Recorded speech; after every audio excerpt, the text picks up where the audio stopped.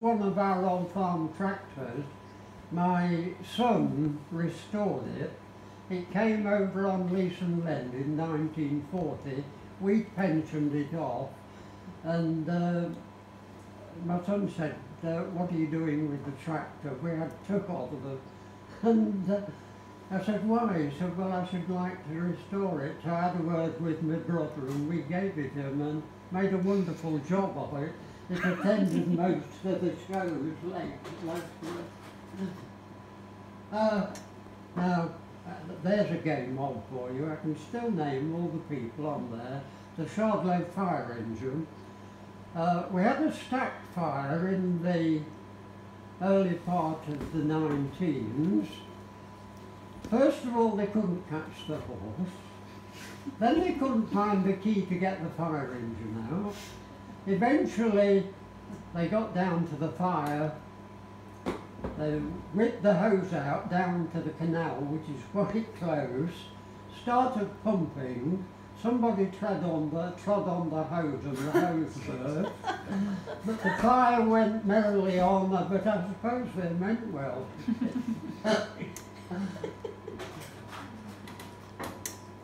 uh, an early farming one, uh, that's my brother on the left, the cowman next to him, father sitting on the sweep seat. Uh, Harry Williams and Ted Archer, the horses, that one's captain, and Tommy's just out the picture, it's a two-horse sweep. Uh, quite modernising really, but uh, hard work. And of course, the first of the tractors that came into Shardlow was a Henry Ford model. Uh, I still got the receipt for it.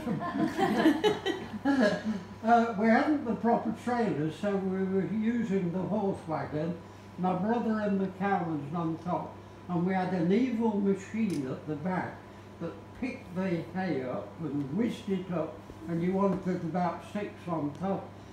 Until we got to our local thrashing contractor, and of course, gone are the days now when you have to tie the pull up in sheaves, load it, stack it, have this that thrash the wheat out, and the dust from those things was incredible.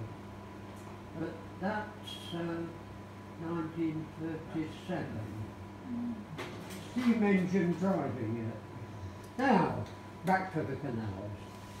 The small building on the left there was the ticket office. Now you could get a ticket there and get a passenger boat to anywhere where the canals went.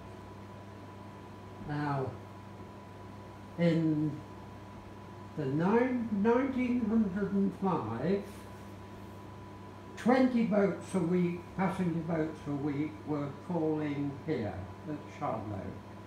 Roads obviously were abysmal, truthfully, and the old stagecoaches.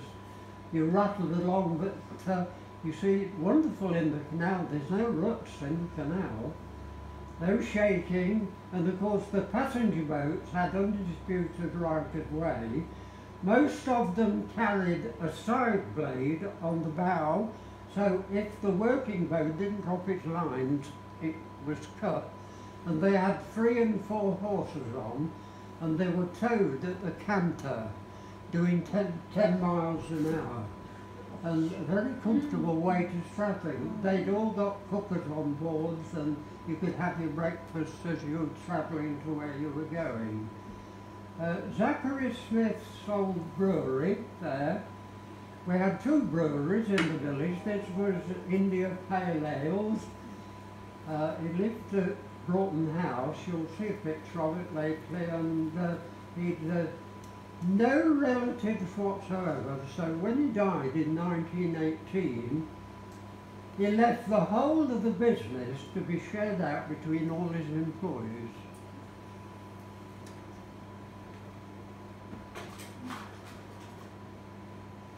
Unfortunately, we lost our little humpback bridge, but you see, in the mid-30s, it was grossly inadequate to carry the traffic of that era.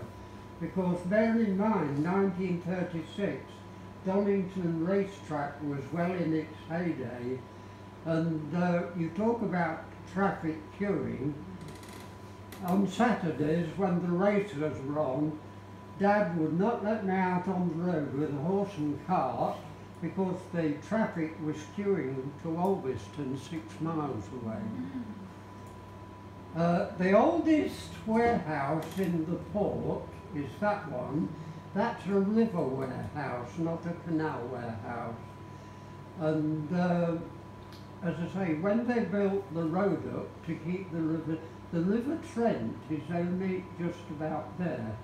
To keep the water to the River Trent out the canal, they built this road up.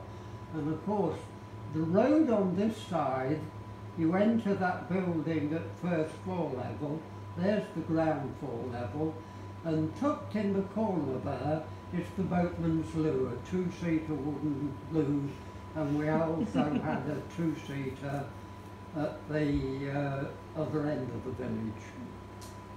Now, it's rather funny, uh, with the, every lock had a lock house and a lock keeper.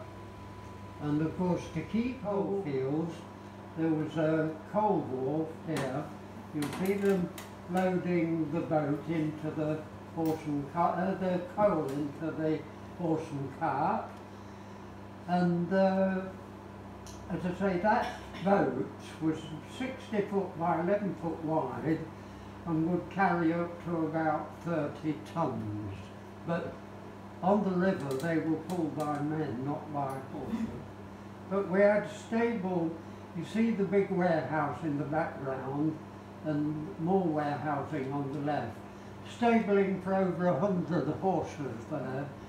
If you had a boatload of material, say, to take to London, you hired a horse off the Salisbury family, dropped him off in the stables there, someone would hire him and bring him back to Shardlow again. It all works, you know, really well.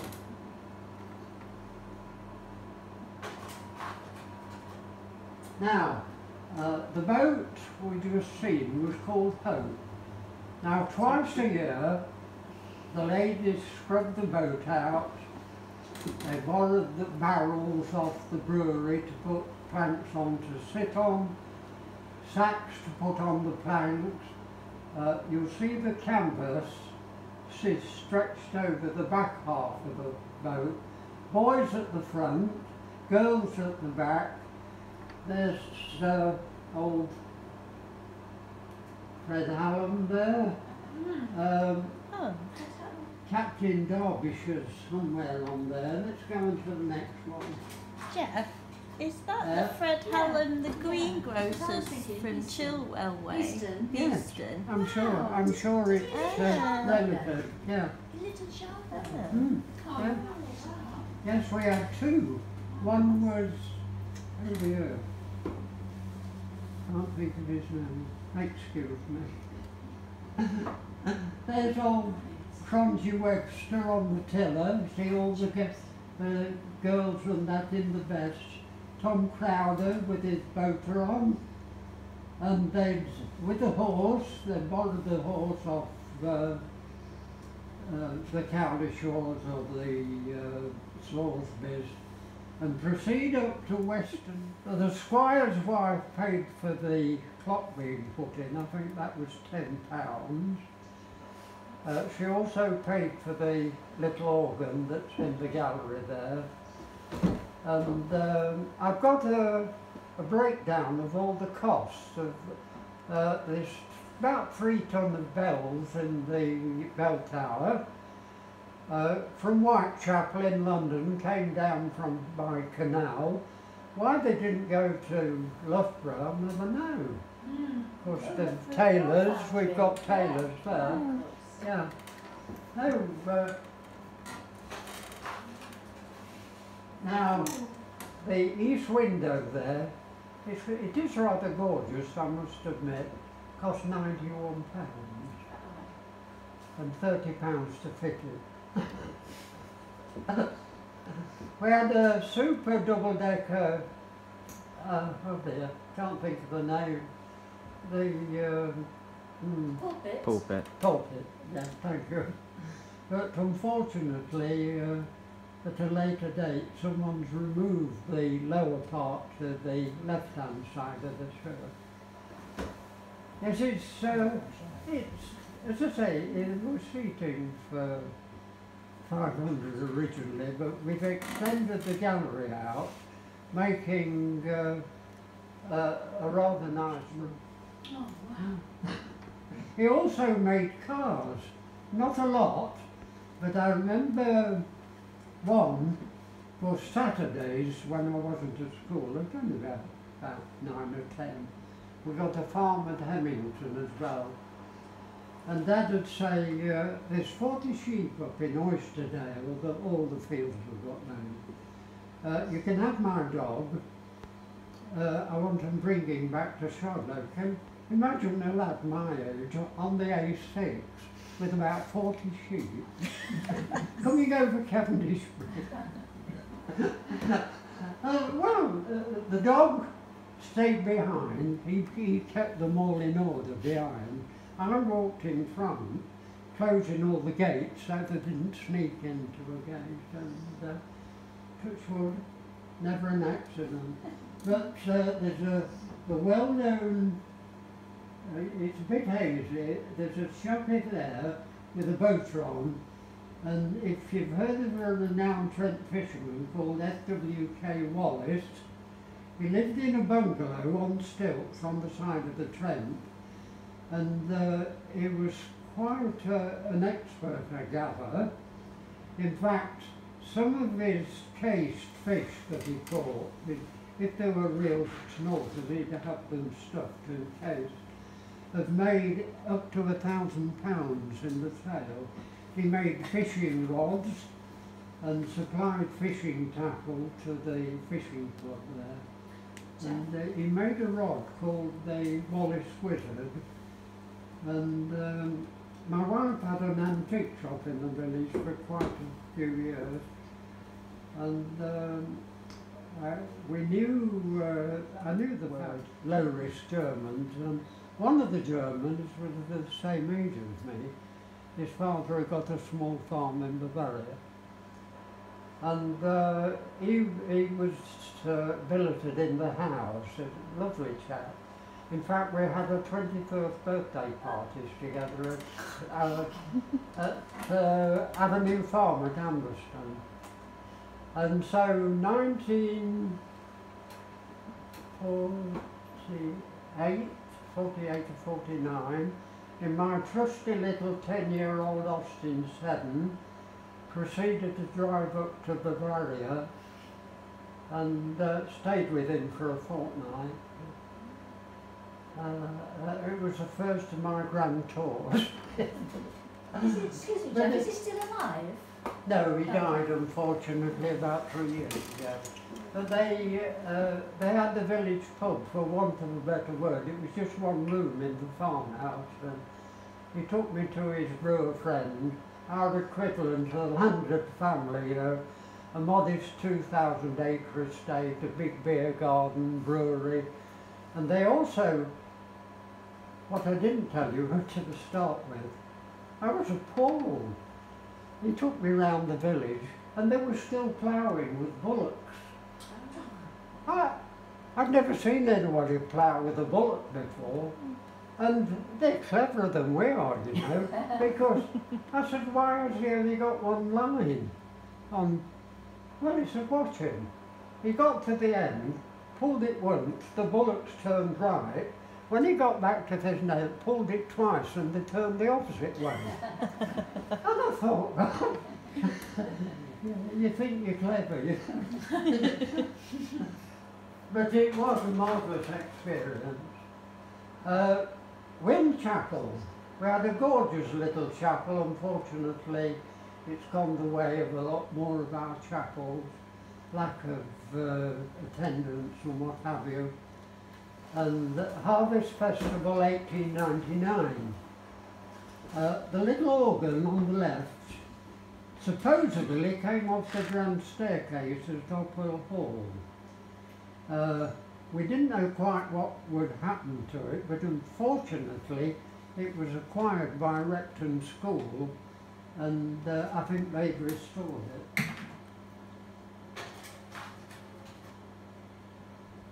The Manor, it's a nursing home today. Uh, oh dear, I've forgotten the name of the owner. Never mind. It had a Edwardian extension on a air garden entrance. Also, there's a large billiard room been added on the right there. But a lovely 18th century building, the main part.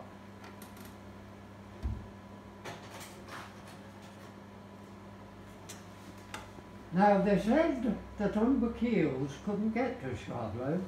There's a Humber Keel unloading timber at Ellison's Woodworks in the village. the warehouse in the background by now uh, or then was converted into a mill driven by a steam engine, hence the clouds of steam and the tall chimney for the boiler.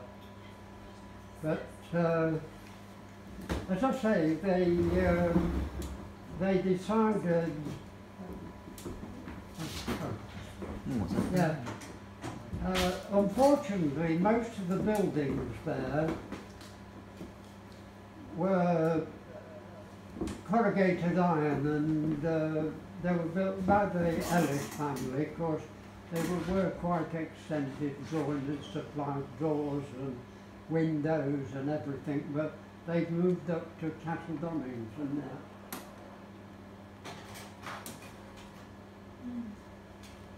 Another shot of the major ship. This, these were from photographs taken in the twenties, and uh,